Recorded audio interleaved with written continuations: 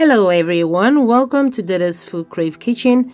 This is a highly requested video. I am going to show you how to make some rice bread. So I am going to show you what you're going to need. As you can see, I was using two cups of rice. You can use that or you can use a box of cream of rice. Or you can use two cups of rice. So I'm going to show you two ways of how to do it. Okay. So if you don't have cream of rice, you can use two plain cups of rice. So what you're going to do is you're going to add the plain rice into the blender and blend it.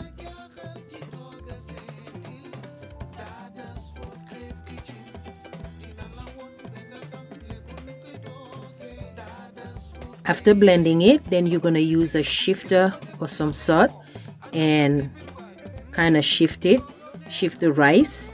And then after you shift it then you're gonna repeat the same steps. Keep repeating the same steps until everything is um, blended. Like I said if you don't have the cream of rice I'm not saying cream of wheat cream of rice you can use the plain rice. Okay? Keep blending it until everything is done so there is not much difference to the two of them anyway. So as you can see this is the plain rice that I blended. When I open the box of the cream of rice you won't be able to tell the difference. They both look the same. I'm just giving you guys two options to make your life easy if you just want to go to the store and get you a box of cream of rice. Once again I said cream of rice okay I am going to use one and a half cup of the cream of rice. If you don't have the cream of rice, just use the plain rice like I showed you guys and blend it. But I am going to use the, the one in the box for this recipe. So like I said, I'm using one and a half cup. So that's the one from the box.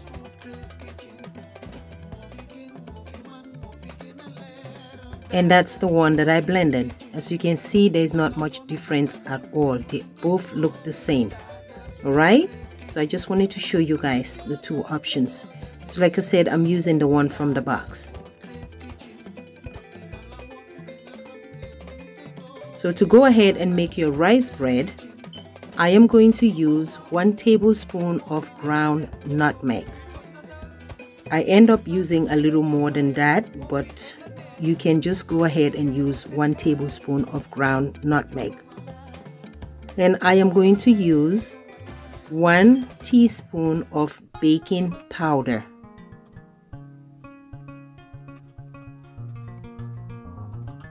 One teaspoon of baking soda. You want to make sure it's a baking soda that it's meant to do baking, not the one that you use to, to scrub pots and pans so be mindful of that.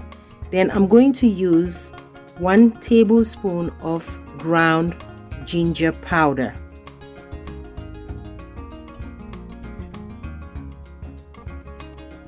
Then you're gonna need one teaspoon of salt. Mix all the dry ingredient ingredients together. As you can see I didn't use sugar yet but I'm gonna add sugar later on. Then you need six ripe bananas Make sure the banana is pretty ripe. Then in a bowl, you are going to peel each banana, break them apart like so. I mean, this rice bread is pretty much used in Gambia, in weddings, in all sorts of occasion for snacks. Like I said, it's a highly requested video. So you either use your potato masher to mash the banana or you can use your clean hands to mash the banana like so. If you want to use a glove, you can go ahead and use a glove, but if you're going to use your bare hands, make sure your hands are also clean. Mash up the banana until everything is pretty mashed, really, really good. Or like I said, you can use your potato masher and just mash the banana, simple as that. Now I'm gonna switch up switch off my gloves and wear another um, pair of gloves a clean one. Then you're gonna use two raw eggs. Crack it up like so. If you are new to my channel and this is the first time you're tuning in I absolutely welcome you. Then I am going to use banana essence. You can go ahead and use vanilla. Since I don't have vanilla I am going to use I would say a teaspoon of vanilla essence. Then you're going to need one cup of oil. One cup of milk. Use any milk of your choice. You can use fat-free milk whole milk that's up to you. Then you're going to whisk everything together all the wet ingredients together until everything is well incorporated. Then you're going to add it to the mashed up banana whisk that as well until everything is well combined.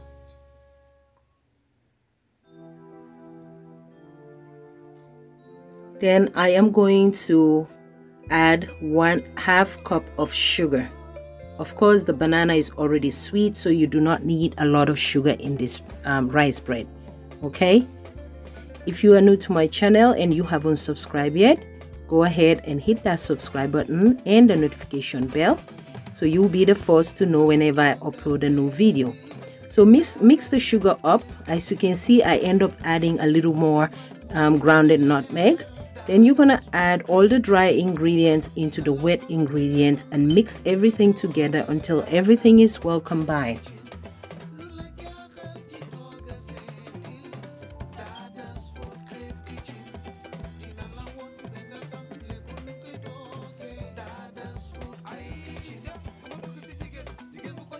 So now you're going to use your 9 by 5 baking pan or whichever pan you have. Then you're going to spray it to keep the rice bread from sticking. You're gonna spray it like so or rub some oil or butter whichever one. Then you're gonna pour the wet ingredients into your baking pan. Meanwhile your oven was already starting to preheat to 350 then you're gonna bake it for 60 minutes until you use a toothpick and everything comes out really clean then your rice bread is ready I want to thank all my returning subscribers and all my old subscribers for constantly watching my video.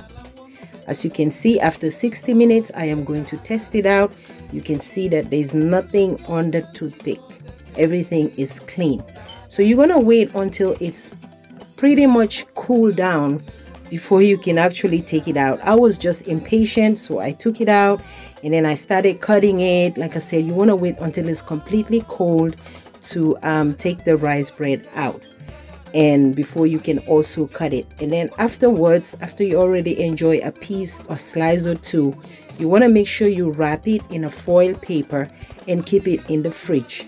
All right? Remember it's banana bread not banana bread. Remember it's rice bread it's almost like banana bread but we call it rice bread you want to wrap it in a foil paper and keep it in the fridge. Whenever you want to take a slice or two, you take it out and cut and put it back in the fridge. Okay, it's food, so and you don't want to leave it out, especially if you live in a warm place. Okay, so as you can see, I was very impatient. I didn't wait for it to cool down. I started cutting it. That's why it looks like it's, you know, almost want to break apart because it wasn't completely cool. I hope you guys enjoyed this video. And like i said if you are new hit that subscribe button and hit the notification bell because you'll be the first to be notified whenever i upload a new video. If you like this video go ahead and like share and leave a comment down below. And i want to thank you all so very much for watching leave me a comment or leave me a question i'll answer all your questions accordingly and thank you all so much for watching i'll see you guys in my next video Thanks for watching. Bye bye.